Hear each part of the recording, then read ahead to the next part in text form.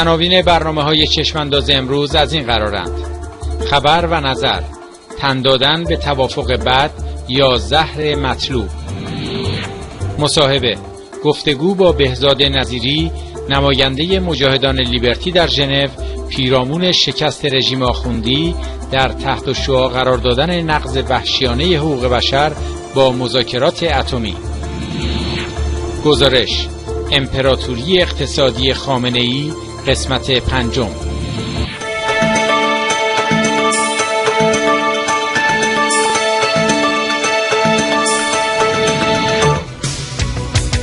تن دادن به توافق بد یا زهر مطلوب. کار خیلی شلو رفته. اگر نظر میزان در واقع حجم کاری که جلو رفته با اونی که باقی مونده بخواین در نظر بگیرین شاید 90 درصد جلو رفته باشه.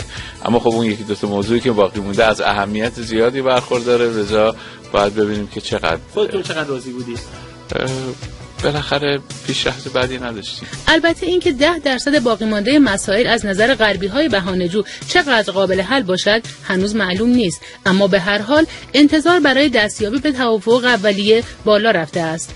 ممکن است مانند دو هفته پیش لوران فابیوس وزیر خارجه فرانسه یا یکی دیگر ساز مخالف را کوک کند و همه رشته ها را پنبه. به نظر می رسد با وجود اختلاف ها اما فرایند گفتگوها اگرچه کند اما رو به جلو قابل ارزیابی است. کنم هنوز هیچ شواهد جدی وجود نداره که آیا این قرارداد واقعا امضا خواهد شد یا نه. به دلیل اینکه به حال اختلافات همچنان وجود داره دو, دو بحث غنیسازی و آب سنگین عراق همچنان اختلافات وجود داره. اما مسیر مذاکرات مسیر خوب و مسیر سازنده و عمدتا هیئت های نمایندگی و ایران از جدیت واقعی در برخورد با مسئله واقعا برخوردارند و به نظر می‌رسه این جدیت می‌تونه مسائل و مشکلات پیش رو رو از میون برداره. یادداشت روز کیهان خامنه ای دوم آذر 1392 لفظ مبهم توافق لفظ غلط اندازی است که می‌تواند به اعتبار ابهام و اشتراک لفظ راه به مقالطه ببرد. طیفی از توافقها را می‌توان از مطلوب و ایدئال تا متوسط و زیانبار رسد کرد. توافق بعد آن است که طرف غربی اولا از امضای حق مسرح ایران تفره برود و آن را به آینده موکول کند. ثانیا ساختار اصلی تحریم ها برقرار بماند و ثالثا غرب امتیازهایی بگیرد و مایل به واگذاری امتیاز پایاپا متوازن و متقابل نباشد. پس از بایدن نوبت جانکری بود که ادعا کند NPT حقی برای غنیسازی ایران قائل نشده. و این موضوع به نتیجه مذاکرات بستگی دارد. ما در این مذاکره درباره اینکه آیا ایران در دراز مدت حق غنیسازی دارد یا نه تصمیم نمی‌گیریم. مفهوم این سخن می توانست دلالت بر مطالبه امتیازهای نقد در برابر وعده سرخرمن یا حتی بدون آن باشد. ارگان بسیج ضد مردمی موسوم به جوان دوم آذر. نباید همه تخم مرغ را در یک سبد گذاشت. آن هم سبدی که یک دست آن در دست غربی هاست. بر فرض توافق موسوم به توافق انتقالی که طرفین توافق هر لحظه قادر خواهند بود این توافق شکننده را ملغا کنند ایران می تواند در نهایت 6 میلیارد دلار به روایتی 10 میلیارد دلار از دارایی های خود را بگیرد و خرج کند. پیام واضح این گفته ها کاملا روشن است که ایران و دولت یازدهم به قول قدما باید دست به زانوی خود بگیرد و سر پا بایستد. سرمقاله روزنامه حکومتی جمهوری دوم آذر 1392 سنگاندازی های بینتیجه هسته ای توافقنامه که در ژنو ممکن است به امضا برسد حاوی حقوق قانونی ایران بر اساس مقررات آژانس بین المللی انرژی اتمی خواهد بود. بنابراین وچی ندارد ادعی در داخل کشور در صدد نگران کردن مردم برایند و با گفتارها، نوشتارها و اقدامات خود ایجاد نگرانی کنند. از این فرصت باید برای حل این مشکل استفاده شود. استفاده صحیح از فرصتی که اکنون در اختیار است یک وظیفه تاریخی است که تنها از طریق همبستگی و حمایت کردن از گروه مذاکره کننده محقق خواهد شد. روزنامه حکومتی ابتکار دوم آذر 1392 طرف غربی خواهان دادن امتیاز حداقلی و گرفتن امتیاز حداکثری است. اگر به رغم خوشبینی ها و مذاکرات دو جانبه و چند جانبه این دور از مذاکرات همچنان بدون نتیجه پایان یابد موج منفی آن دیوار بیاعتمادی را دوچندان خواهد نمود و آینده را بسیار سخت خواهد کرد و شانس توافقات را بسیار مشکل می نماید حال باید چشم اتفاقات در ساعات آینده داشت و در چهارمین روز مذاکرات اتمی وزیر خارجه آخوندها نفس بریدگی و یس رو در یک جمله دوگانه به زبون میاره. به این ترتیب که میگه شاید 90 درصد جلو رفته باشد. اما خب اون یکی دوتا موضوعی که باقی مونده از اهمیت زیادی برخورداره. از یک طرف مجبوره که در تلویزیون رژیم آبروداری کنه و بگه 90 درصد موضوع پیش رفته چون راهی جز امضای قرارداد زلتبار روی میز نداره. از طرف دیگه باید بگه که موضوعهای مهم که شاید همون مرز سرخهای معین شده توسط ولی فقیه رژیمه. هنوز حل نشده تا وقتی بعد از امضا و اعلام قرارداد مفاد خفت و خاری اون آشکار میشه. بتونه در برابر ریزشی ها و وحوش باندها از خودش دفاع کنه. وضعیت زار و نظار و دود و دم دستگاه آخوند روحانی و تمامیت رژیم در جمله بعدی ظریف هم به روشنی پیداست. اونجا که در پاسخ به سوال مجری تلویزیون رژیم که آیا راضی هستید یا نه میگه بالاخره پیشرفت بدی نداشتیم. وزیر خارجه آخوندها البته می‌دونه که بعد از امضای قرارداد زلت و بازگشتش به ایران چه آشی براش خواهند پخت. همون کسایی که به هر حال پای مذاکراتی رو که اون پیش می‌بره امضا کردن تا حتی اگه شده به اندازه یک نفس هم فرجه بقا بخرن. همونها در عین حال تیغای خودشون رو آماده کردن تا در گام بعدی همین قرارداد رو دستمایه تشدید جنگ قدرت علیه اون و اربابش یعنی رفسنجانی بکنن. جالبه که از همین حالا ارگان خامنه ای یعنی کیهان شریعت مداری شمشیر رو کشیده و نوشته لفظ مبهم توافق لفظ غلط اندازی است. زیرا می‌توان با طیفی از توافقها از مطلوب و ایدئال تا متوسط و زیانبار مواجه بود متقابلا روزنامه های باند رفسنجانی هم مبهم رو ناشی از عملکرد باند خامنه ای دونستن و هشدار دادن که ادامه وضعیت مبهم موضوع هسته‌ای به نفع هیچ کس نیست و فرصت فراهم شده کنونی هم برای همیشه وجود نخواهد داشت. گرچه به نظر می‌رسه هنوز یک روند دیگه تا امضای قرارداد زلت باقی مونده اما اخبار و شواهد گویای آمادگی رژیم برای امضای اونه. امضایی که تشدید جنگ قدرت رو در داره و رژیم رو بیش از پیش تضعیف خواهد کرد.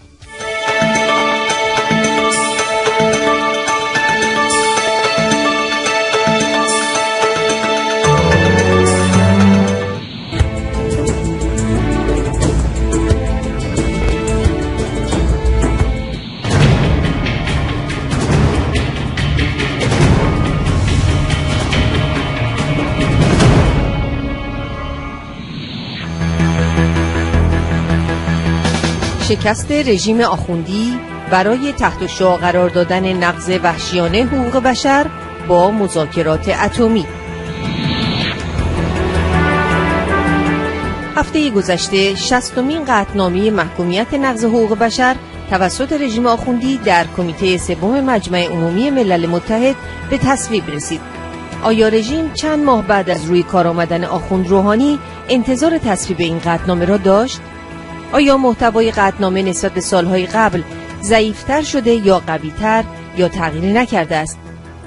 در حالی که جامعه بین المللی توجهش را بیشتر به مذاکرات اتمی معطوف کرده تصویب چنین قطنامه‌ای درباره نقض حقوق بشر توسط آخوندها چه اهمیت و چه پیامی دارد؟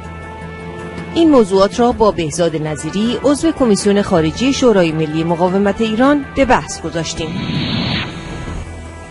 قدنامه امسال برخلاف تصور رژیم که فکر می‌کرد شانسی برای منتفی کردن یا حداقل ملایمتر کردن اون رو داشته باشه همون محتوای اصلی خودش رو با تاکید بیشتر حفظ کرده. همونطور که می‌دونید کشورهای معدودی هستند در دنیا که در مورد اونها قطنامه نقض حقوق بشر بررسی و تصویب میشه در ملل متحد. و در حالی که الان چند ساله که مکانیسم های رسیدگی به وضعیت حقوق بشر در کشورهای دنیا تغییر کرده ولی در مورد ایران تحت حاکمیت آخوندها این مکانیزم کماکان حفظ شده و اتفاقا رژیم از زبان بعضی از متحدین انگوش شمار و همجنس خودش که در سخنانی های خودشون به همین اشاره کردن به این نوع رسیدگی اعتراض داره. و اگر در قدنامه های مربوط به سایر کشورها بعضی از جنبه های نقض حقوق بشر بررسی میشه در مورد قطنامه ایران که 6 صفحه هست شاهد هستیم که طیف گسترده ای از همه اشکال و انواع مختلف نقض حقوق بشر مطرح است که بعضی از اونها دیگه امروز تبدیل به خصیصه های وضعیت حقوق بشر در ایران شده. ادام ها در ملع عام که در واقع رژیم رکورد شوم اون رو در دنیا در اختیار داره. ادام های گروهی مخفی گزارشات اعدام های انجام شده بدون اطلاع به خانواده زندانی یا وکیل مدافع اعدام. علیه نوجوانان و افرادی که در زمان جرم زیر 18 سال داشتند. اعمال مجازات مرگ برای جنایاتی که تعریف روشن و دقیقی ندارند من جمله کلمه محاربه اینها همه نقل قول از متن قطنامه هست که البته همین چند مورد به صورت موارد خاص در قطنامه های نقض و بشر در ایران در اومده. یا مثلا گزارشات بازداشتیانی که در بازداشت فوت می‌کنن یا مورد شکنجه و تجاوز قرار می‌گیرن مثل مثلا شهید. محسن دکمه چی. و یک شاخص که تو همین قطنامه شاید کمتر بهش توجه شده باشه ولی شاخص مهمی هست اینه که اشاره داره در قسم در بند 11 قسمت دوم قطنامه به اینکه این رژیم علیرغم اینکه تقریبا 8 ساله که دعوت کرده از گزارشگران موضوعی به ظاهر یک دعوت دائمی صادر کرده رژیم که گزارشگران موضوعی مثل گزارشگر اعدام گزارشگر شکنجه گزارشگر نقض آزادی بیان بتونن از ایران دیدن کنن. ولی هیچ کدوم از این موارد بازدید نه تنها رخ نداده بلکه رژیم حتی گزارشگر ویژه نقض حقوق بشر در ایران رو هم راه نمیده. و به مکاتبات متعدد و مکرر این مکانیزم های ویژه شورای حقوق بشر هم پاسخی نمیده. و خب اینها شاخص های خیلی آشکاری هست در مکانیزم های ملل متحد که نشون میده هیچ تغییری علا رقم ظاهرسازی ها و تبلیغات رژیم در وضعیت حقوق بشر در ایران رخ نداده بلکه وخیمتر شده و این در قطنامه منعکس شده.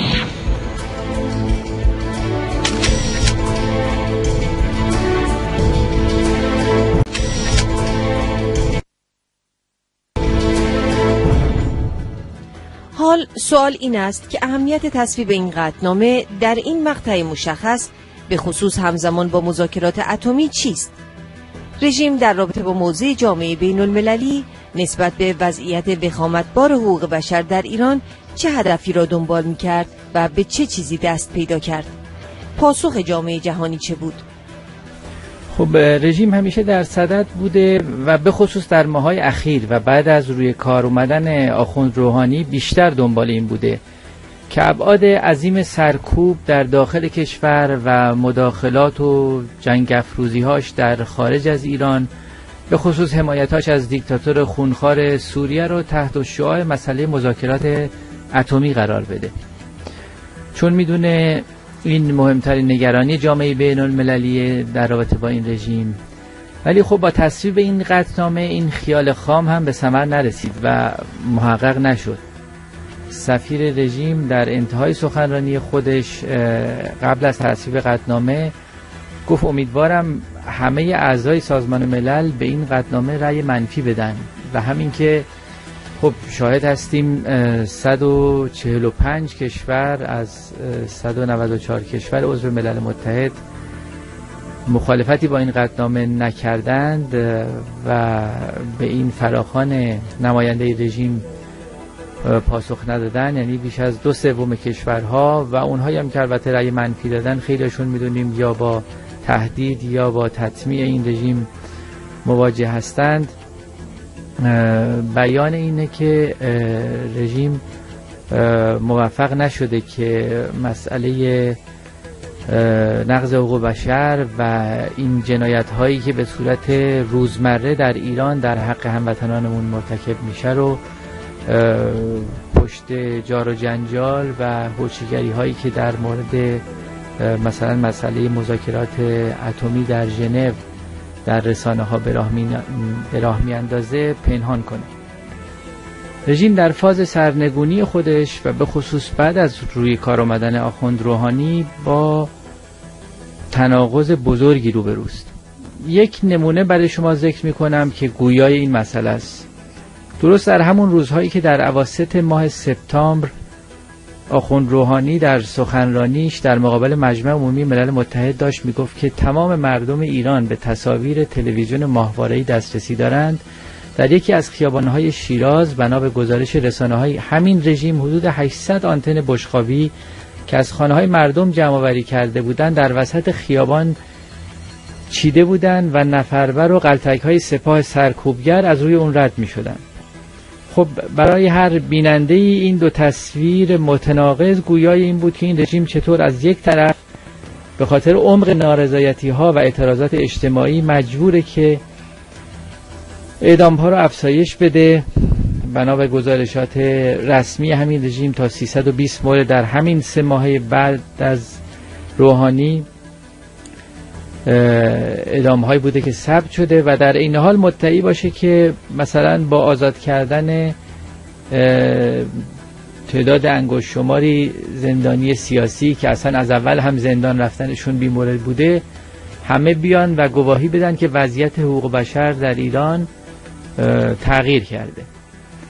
خب در همین رابطه سفیر رژیم که در دقایق آخر تصویب این قدنامه دیگه مزهکتر از این نمی‌تونست بیان کنه تلاش مذبوحانه خودشو برای جلوگیری از تصویب این قدنامه وقتی که گفت که این در همون سخنرانی خودش قبل از تصویب قدنامه چون کانادا آورنده متن پیشنویس این قدنامه بوده گفت کانادا با تبدیل یک مناقشه دو جانبه به یک مناقشه حقوق بشری با احساسات اعضای سازمان ملل بازی می‌کنه.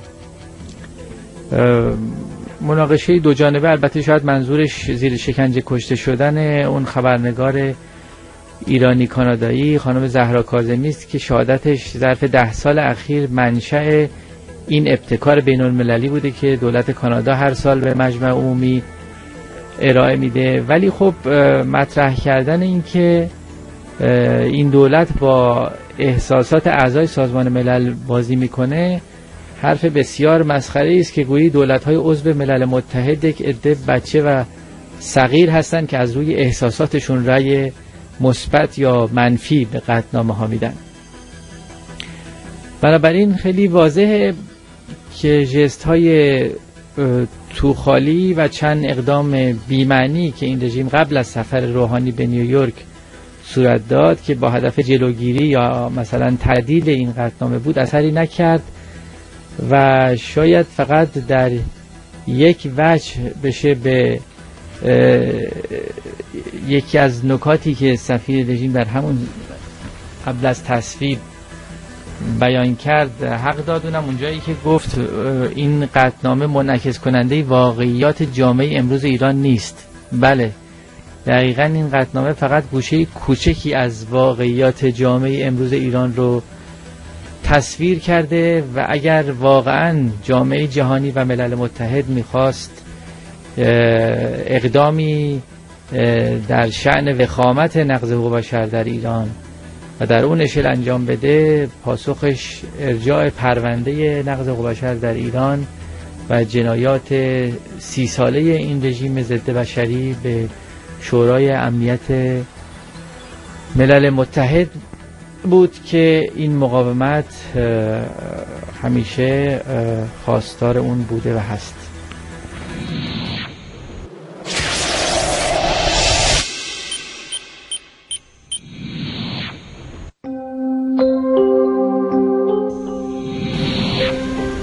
امپراتوری اقتصادی خامنه ای قسمت پنجم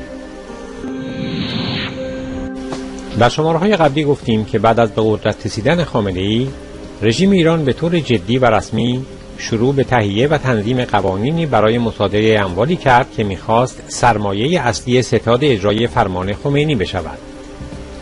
خامنه ای که جانشین خمینی است برای جمعآوری ده میلیارد دلار ستاد را مستمسک خود قرار داد. حالا درآمدهای تحت کنترلش با ثروتی که شاه در دست داشت پهلو می‌زند. از جمله دارایی های ستاد می توان به بانک، مزرعه، شرکت سیمان یک شرکت تولید قرص های ضد بارداری و تعدادی آپارتمان مصادره از ایرانیان مقیم خارج از کشور و بسیاری اموال دیگر اشاره کرد. این ثروت قدرت او را در ایران تحکیم بخشیده است. تحقیقات رویتر مشخص کرده است که دولت‌هایی که در زمان رهبری خامنه‌ای تشکیل شدند، مصادره اموال را قانونی کردند و کنترل این اموال به دست آمده را به ستاد سپردند. خامنه و قضات و مجلس طی این چند سال به منظور تقویت ستاد هم فرمانها و بخشنامه های زیادی صادر کردند هم تصاویر متعدد از قانون اساسی ارائه دادند و هم رویه های قضایی زیادی را سند کار خود قرار دادند یکی از آخرین بخشنامه های آنها در خرداد ماه گذشته درست بعد از انتخاب حسن روحانی به ریاست جمهوری صادر شد دفتر ریاست جمهوری و وزارت خارجه ایران به سوالاتی که برای تهیه این گزارش به آنها فرستاده شده بود جوابی نداد. تغییرات قانونی در رژیم ایران چند هدف مشخص داشت. این فرمانها باعث شد که ستاد بتواند باقی مؤسساتی را که به اسم رهبری می‌خواستند اموال دیگران را مصادره کنند از صحنه رقابت کنار بزند. حکمی که خصوصی سازی را منطبق بر قانون اساسی دانست راه ستاد را هموار کرد تا بتواند پا را از فعالیت های ملکی هم فراتر بگذارد و وارد عرصه سرمایه گذاری و تصاحب شرکت های مختلف شود. در اکتبر 2010 میلادی خامنه طی یک سخنرانی این خاطره را دوباره زنده کرد.